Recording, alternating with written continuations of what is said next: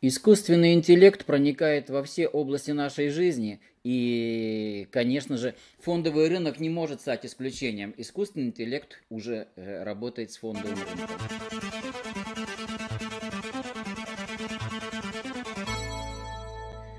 Итак, здравствуйте, друзья, здесь Демитков Юрий. Э, мы все уже давно пользуемся э, продуктами искусственного интеллекта. Э, то есть это э, у нас навигатор, который показывает пробки. Он работает, он обрабатывает информацию э, со всех телефонов, которые э, подключены к этому навигатору. Когда вы подключаетесь, вы даете согласие на то, что он будет обрабатывать вашу информацию, и он анализирует эти большие данные, и он поэтому определяет скорость среднего движения э, на дороге. Это удобно и это хорошо. Поисковые системы. Мы все ищем через поисковые системы, через Яндекс тот же, через Google, и это тоже искусственный интеллект, потому что Э, он определяет э, очень точно ваши интересы, круг ваших интересов, и э, он действительно в соответствии с вашим кругом интересов показывает вам результаты поиска, то, что вы хотите. Он помогает нам жить на самом деле, то есть многие этого боятся, но на самом деле искусственный интеллект помогает нам жить. И э, этим надо пользоваться просто. И, конечно же, искусственный интеллект не может э, не прийти на фондовый рынок, и он туда пришел, естественно, давно, э, активно. Там работает очень много э, роботов всяческих. И, конечно же, очень крупные корпорации, э, конечно же, этим интересуются и занимаются. И они оптимизируют э, управление финансами при помощи искусственного интеллекта. И вот э, сейчас, э, ну, один из продуктов, он становится, ну, как бы опосредованно, но доступным уже широкому э, кругу инвесторов. Уже появился индекс акций AIPEX. Что это такое? А, что это такое? Посмотрите. Ну, здесь э, э, про Big Data э, коротко сказано, что да, сейчас в последнее время появились э, системы, которые обрабатывают большие данные и э, при помощи искусственного интеллекта, при помощи э, системы обработки больших данных, это онлайн-поиск, о котором я уже сказал, это э, в медицине, медицинские исследования, искусственный интеллект помогает, э, вот уже компании используют э, результат раннего скрининга рака молочной железы, э, вооруженные силы тут написано, но на самом деле вообще все силовые структуры, они э, используют уже, естественно, искусственный интеллект, система распознавания лиц и так далее для борьбы с терроризмом, там, для борьбы с преступниками, для поиска преступников. То есть это все используется. И вот компания IBM про, ну, как бы, ну, в, в одном из проектов Э, э, участвует, это IBM Watson. Э, IBM Watson Artificial, Artificial Intelligence. Что такое Artificial Intelligence? Это как раз искусственный интеллект. Это платформа для когнитивных вычислений, способная отвечать на вопросы э, окружающего мира, соединяя большие объемы данных, как традиционных, например, электронные таблицы с данными, так и нетрадиционных, например, новостных статей. Извлекая уроки из каждого проводимого ею анализа, система обучается, чтобы дать более точный ответ с каждым э, последующим вопросом. Watson представляет собой новую эру вычислительной техники, которая называется когнитивные вычисления, тра-та-та, тра-та-та. Ну, э, аналогию я могу сказать с навигатором. Скажем, навигатор мне указывает дорогу, а иногда он ошибается. И э, когда он ошибается, я беру и еду не по тому маршруту, по которому он мне показывает, а по другому. И он смотрит, блин, один раз, э, значит, ну там он как бы ставит галочку, так, меня не послушались, поехали по другому маршруту. Потом второй раз он ставит галочку, третий раз он ставит галочку, что его не послушались. И уже на пятый раз, там на какой-то энный раз, он он уже э, мне предлагает тот маршрут, по которому я езжу чаще. То есть он обучается. Вот примерно э, та же история с, э, ну, с, с любой системой.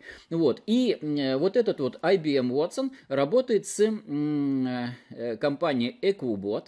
Это управляющая активами компания в Сан-Франциско. То есть это уже управляющая компания, которая э, управляет э, большими активами, э, и она является участником IBM Global Entrepreneur Program и является разработчиком данного индекса. Данный индекс создан, чтобы представить инвесторам доступ к возможностям, которые Artificial Intelligence э, может раскрыть. Equibot был создан соучредителем, бывшим техническим директором Intel. Они были первыми разработавшими э, ETF на основе э, искусственного интеллекта и в настоящее время управляют несколькими ETF за, за отдельными счетами, следят э, для институциональных инвесторов. Ну, то есть для очень-очень крупных, там, типа пенсионных фондов. Что делает э, вот эта вот компания? Э, ну, э, IBM Watson, он э, определяет, он анализирует данные, которые э, функционируют в интернете в разных источниках, в разных... Э, источниках, которых можно доверять. И, например, он анализирует э, текстовые статьи на Блумберге, например, да, и в этих текстовых статьях там, ну, как бы встречается название компании и, э, значит, держать, покупать, значит, там хорошие новости и так далее, и так далее. Он анализирует вот эти вот тексты, э, которые э, чаще встречаются, и он, ага, значит, там положительное, скажем, звучание или отрицательно. И в соответствии с этим он как-то либо повышает э, рейтинг той или иной компании, либо понижает. То есть э, он отслеживает рейтинги по многим-многим параметрам. Там вот много-много разбивочка параметров. Если хотите, я расскажу про эти рейтинги примерно, как я представляю себе про классификацию. Там достаточно много параметров. Вот. Используя полученное знание, они, IPEX, активно исследуют и оценивают каждую из тысячу публичных компаний США для того, чтобы найти, а, отобрать лучшие из них э, в количестве 250 штук. Вот. Ну, это мы потом увидим. И чтобы обеспечить более, стаби... более э, стабильную доходность при сниженном риске, вот это важно для инвестора, в IPEX э, встроен контроль волатильности на уровне 6% годовых. То есть вот это вот э, IPEX, это отличительная черта этого индекса, это значит контроль волатильности в 6% годовых. Что это значит? Это значит, что если э, волатильность, если вот э, суммируем все-все-все акции, и какая-то акция вдруг э, выросла выше, чем на 6% относительно других, э, достаточно быстро, 6% годовых. Соответственно, э, эта акция э, продается. Если акция, наоборот, упала э, больше, чем на 6%, то эта акция также продается, потому что, ну, волатильность. То есть, если у нее колебания начинаются выше, чем 6% годовых в ту или иную сторону, от этой акции избавляются.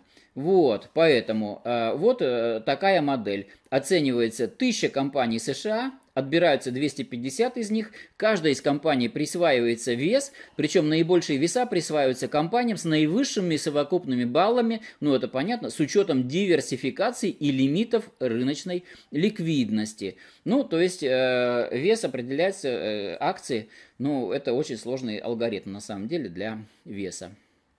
Вот.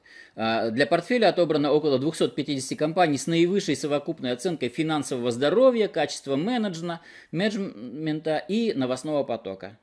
Тоже очень важно. Потому что если выходит негатив, то э, у компании очень хорошие фундаментальные показатели, но там какой-то харасмент там или э, нарушение прав э, вот, эм, то, в общем, сказать, у компании все резко начинает э, падать. Ну, э, пример портфеля индекса во время пандемии COVID-19. 35% медицина, фармакология и биотехнологии, 12% фанк, это Facebook, Apple, Netflix и Google, то есть э, компания, ну, техи так называемая, и 20% бумаги пандемии и бумаги рецессии. Вот, э, ну а теперь давайте посмотрим на поведение этого индекса за последнее время. Вот он. Индекс учился, значит, они сначала определяли, естественно, они его тестировали. Вот, э, вот он график, смотрите. Вот э, серый вот этот вот график, вот этот серый график, Это индекс эм, S&P 500. Ну, мы знаем, что в начале февраля он начал падать, э, потом вот, так сказать, ну, это знакомый всем график. Вот он падал, потом начал снова расти. Это индекс падал. А что произошло с индексом э, IPEX э, 5? Он красный. Посмотрите, красный индекс. Вот, он э, шел он повышался в соответствии с индексом S&P 500.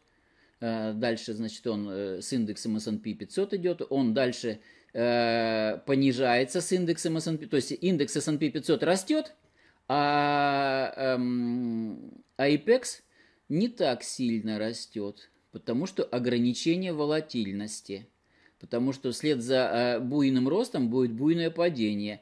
Э, он э, не так сильно рос, но зато, когда пошло падение, он не так сильно падал. Вот посмотрите, красный индекс, он практически сохранился, он не сильно просел, и инвесторы очень мало чего потеряли в этом э, индексе. Но при этом на, естественно, падении, э, да, там акций нет, потому что волатильность большая. Акции тех, которые упали, то есть э, нет вот этого э, погони за бешеной прибылью. Есть стремление сохранить деньги и сгладить вот это вот движение, чтобы все было спокойно. Вот. И черная линия, наконец, это S&P 500, RC, здесь 5%. Э, да, и здесь тоже эм, IP, а, IPEX 6%, а здесь 5%. Ну, э, вот, эм, что такое 5%, я спросил у своего менеджера в открытии, он сказал, что это как раз вот э, индекс S&P 500 э, с ограничением волатильности в 5% акций. То есть, э, ну, вот это вот э, избавляются от тех акций, которые сильную волатильность показывают. Вот э, они практически совпадают, красные и черные графики. Э, и вот этот вот IPEX это искусственный интеллект. И сейчас он доступен, ну, вот здесь... Э, защита и так далее. Что предлагает банк открытия в качестве своей инвестиционной ноты? Вот что он предлагает. Посмотрите. Э, это он выпустил э, это в виде облигации. То есть у нас это пока недоступно на Мосбирже. Это доступно в виде облигации. Облигация следующего вида. А, она может быть либо в рублях, либо в долларах США. В рублях это 100 тысяч рублей, в долларах США, насколько я понимаю, там не знаю сколько, честно говоря, тут не написано ну, думаю, что не меньше тысячи долларов. Вот. Э, в чем э, заключается как бы э, продукт? Смотрите, если вот эта вот облигация, если этот индекс ETF растет, растет, то эта облигация тоже растет. Но растет она коэффициент участия в росте индекса 75%. То есть, смотрите, ну, грубо говоря, если э, вот здесь написано коэффициент участия, значение базового актива, начальное значение, ну э, и так далее, э, коэффициент участия 75%. То есть индекс вырос там, скажем, на 20%, ну вот здесь есть и расчеты. Э, индекс вырастает нам на 200%, у вас 150% эта облигация выросла. Но в чем кайф? Если индекс падает, он может упасть, то э, э, ваша облигация не падает. Стопроцентная защита капитала. В рублях. Ну или в долларах. Но не падает. Стопроцентная защита капитала. То есть э, вы в конце срока э, гарантированно получаете свой, свои деньги, даже если индекс упал. Если индекс вырос, то вы получаете 75% от роста этого индекса. И вот сейчас вы видите то сообщение, которое э, появляется у клиента в открытии брокер, когда они заходят в терминал Quick. Финансовый продукт, собранный искусственным интеллектом, успеет купить уникальную для российского э, рынка биржевую облигацию – IPEX со стопроцентной защитой капитала. Это именно то, о чем я только что рассказал. То есть, э, и здесь же ссылка, можно нажать на эту ссылку и э, просто э, ну, взять и купить эту облигацию, которая только-только сейчас раз, э, ну, размещается на рынке. Сбор заявок до 24 июля. В чем минусы этой облигации? Ну, э, минусы э, очень такие серьезные. Ребаланси, э, ребалансировка ежемесячно, тра-та-та, но а, а, облигация на 3 года, Тип купона условно, я уже сказал. Наблюдение только одно при погашении облигации. То есть э, вы вложили деньги, вы можете смотреть на этот индекс, вы можете понимать, ваши деньги выросли или не выросли, упасть они не могут, только за счет инфляции. А, упасть они не могут, я повторяю. Вот, а э, вы получите свои деньги с прибылью, или без прибыли э, через 3 года. Э, досрочный как бы, выход из этой облигации, да, возможен, потому что, ну, я думаю, что она будет э, торговаться на бирже. Не уверен, что она будет очень сильно ликвидная, но торговаться она будет. Для того, чтобы узнать подробности, обратитесь к своему менеджеру, если вы в открытии. Ну, собственно говоря, вот так. Это для тех, кто хочет, еще раз говорю, сберечь свои деньги э, и у кого сердце ёкает, когда акции падают. Ну, я на самом деле э, очень рискованную стратегию веду, э, и у меня как раз вот все может и упасть, и я рискую, короче говоря, сильно, потому что я хочу больше заработать. Если хочешь больше заработать, надо больше рисковать. Но я знаю, что очень многие люди, не хотят рисковать. Я это вижу. Мне задают вопросы соответствующие, говорят, мы не хотим рисковать, мы хотим вот э, вложить э, во что-то надежное. Вот она вам надежный инструмент. Э, я надеюсь, что это видео будет полезно э, ну, для многих, поэтому э, и буду об этом еще рассказывать. Э, на сегодня все. Спасибо за внимание. С вами был Демитков Юрий. До встречи.